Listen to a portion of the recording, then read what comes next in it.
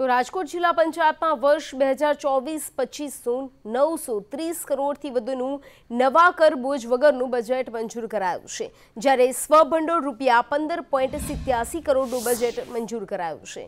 બજેટની રકમમાંથી વર્ષ દરમિયાન રસ્તા, પાણી, શિક્ષણ અને આરોગ્ય સહિતના કામોમાં ખર્ચ કરાશે, જેમાં વિકાસના કામો માટે નવ કરોડ બાણું લાખ પ્રાથમિક શાળામાં સ્માર્ટ ક્લાસ બનાવવા માટે વીસ લાખ પ્રાથમિક શાળાઓમાં પેવર બ્લોક નાખવા માટે પાંચ લાખની જોગવાઈ કરવામાં આવી છે.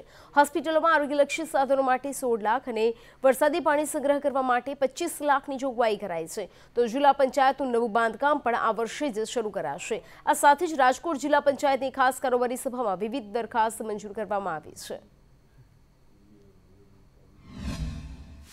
અમારી શાખાઓને જરૂરિયાત મુજબ અમે ફાળવવા માટે અને રાજ્ય સરકારનું અનુદાન આઠસો ને પંદર કરોડ રૂપિયાનું જે અમને મળે છે, એટલે આમ મળી આઠસો પંદર અને પંદર કરોડ રૂપિયા અમારા, એટલે આઠસો ને ત્રીસ કરોડ રૂપિયાનું આજે આ બજેટની અંદર બધી જોગવાઈ થયેલી છે.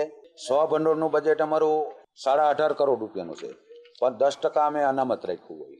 કે જ્યારે કોઈ એવી આકસ્મિક કે આફતને જરૂરિયાત, વાપરવાની જરૂરિયાત પડે ત્યારે આ અમે બે કરોડ રૂપિયાનું અનામત રાખ્યું હોય.